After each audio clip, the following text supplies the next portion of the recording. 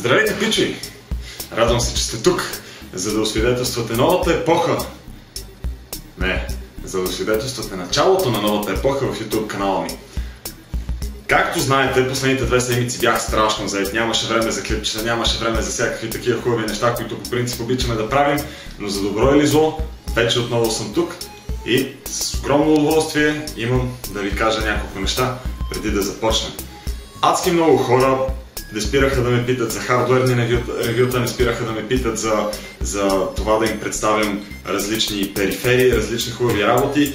Допитах се до вас многократно и огромната част от вас беше заинтересована от това да има такива хардуерни ревюта в канала ми. Е, за това започваме тази седмица. Днес е понеделник. В понеделник, вторник, среда, четвъртък и петък ще има 5 ревюта. И по принцип всеки продукт, който разглеждаме някога, ще бъде оценяван по десетобалната система. И тази седмица ние ще разгледаме 5 продукта, които оценявам по десетобалната система и ги оценявам по десетобалната система, защото са отлични продукти. Става въпрос за пълни десетки. Нещо, което ще се случва много рядко. Това е моята периферия, мишка, слушалка, клавиатура, още една клавиатура DAS Keyboard, която не е от Desktop BG, а е от самите производители на DAS Keyboard и разбира се един брой лаптоп от Dell, който ми направи адски добро впечатление и определено го препоръчвам.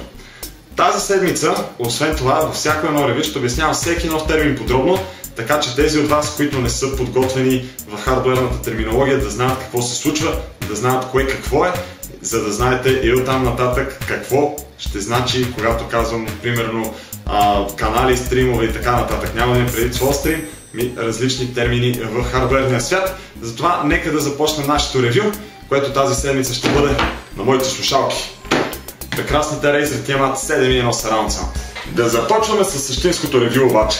Тези от вас, които са гледали предишни мои работи, знаят, че аз имам една единствена цел – да дам своето обективно мнение за продукта, за да можете вие откровено да прецените дали се нуждаете от това нещо или не се нуждаете от него. Поради тази причина често моите ревюта са с негативен оттенък, тъй като съм изключително претенциозен.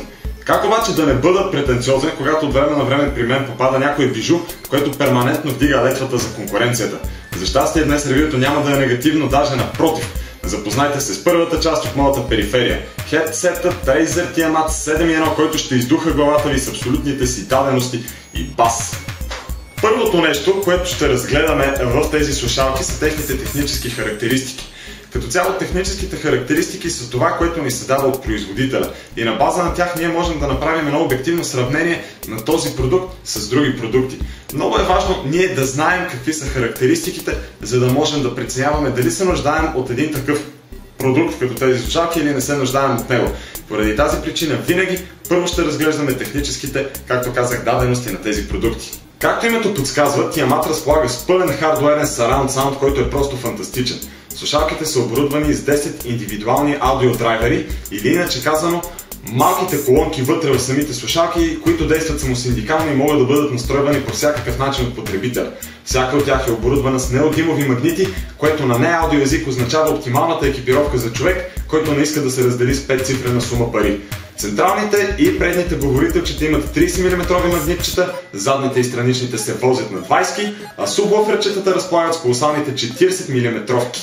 Освен обаче за слушане на аудио, Tiamat се използва и за предаване на такова. Затова е отговорен секси микрофонът, който елегантно се прибира в лявата слушалка.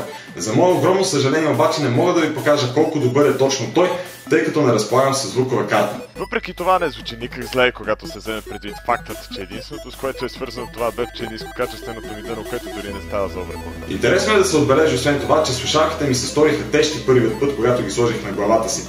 Отдавам това на съотносимо по-малката тежест на стария си хедсет, който носи от близо 2 години, а след около 2 часа напълно привикнах с тиаматите. Любопитен факт е и стереотипът, че квадратните наушници са неудобни.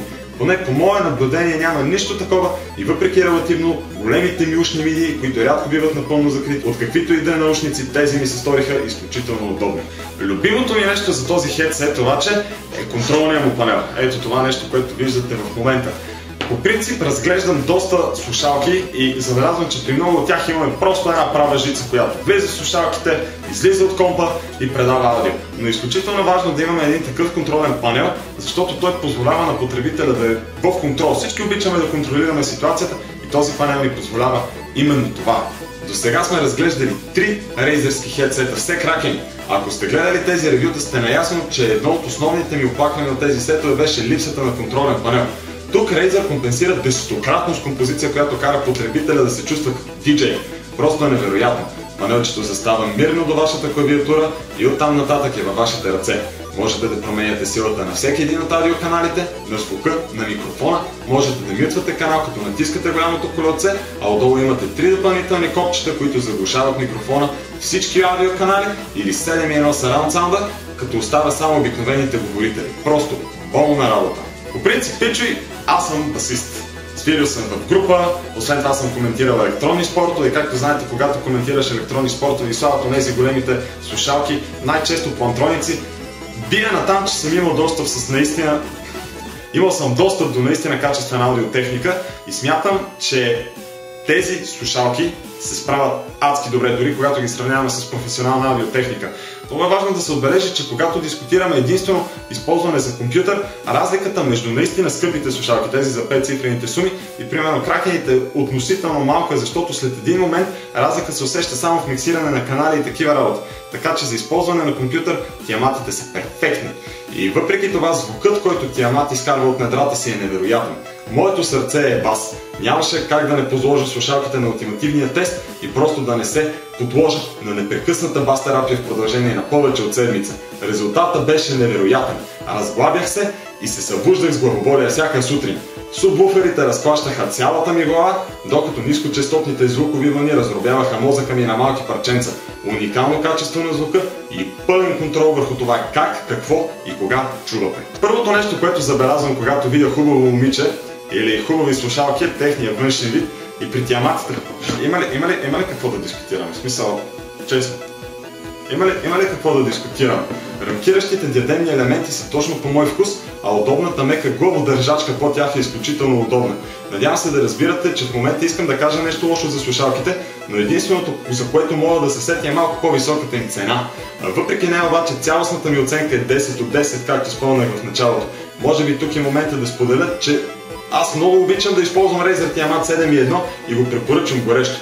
Ако търсите страхотни слушалки на добра цена, американските гиганти предлагат добро решение с този продукт.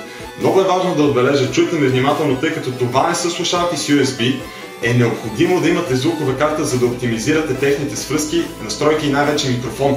Да, Tiamat предлага студийно качество, както на звука, така и на микрофона, но 99% от даната ботълнекват тези характеристики. Ботлнекването е когато една характеристика пречи на другите характеристики да оптимизират техния пълен потенциал и да го разкрият за потребителя. Но както и да е, слушалките могат да станат ваша собственост за точно 439 лева от сайта на нашите добри приятели от Desktop.bg. 6% от цената обаче бихте могли да спестите, ако използвате промокод ETELTRIT. Промокод ETELTRIT в Desktop.bg е нещо изключително важно, защото ще ви карам постоянно да го, постоянно да го ползвате, защото имате отстъпка с промокод ETELTRIT. Промокод ETELTRIT е любов, Промокодът от 3 пичи е живот. Насладете се на Razer Diamant.